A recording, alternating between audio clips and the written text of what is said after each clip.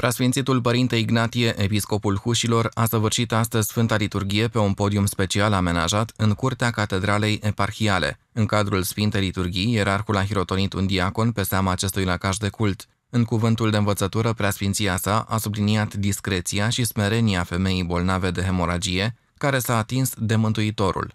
Eu uh, intuiesc în uh, atitudinea acestei femei și discreția.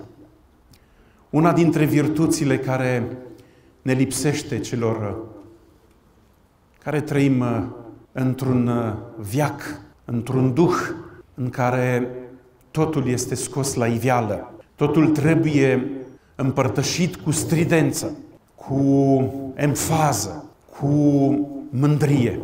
Femeia aceasta pe lângă credința pe care a avut-o, puternică, încât să, să aibă convingerea aceasta interioară că numai atingându-se de poala hainei Domnului Hristos, ea va primi vindecare, a fost uh, brăzdată și de sentimentul discreției. De fapt, un om credincios, în sensul cât se poate de tare al cuvântului, profund, nu poate fi decât numai discret. În anul 1949, episcopia Hușilor a fost desființată de regimul comunist ateu, fiind reînființată în anul 1996.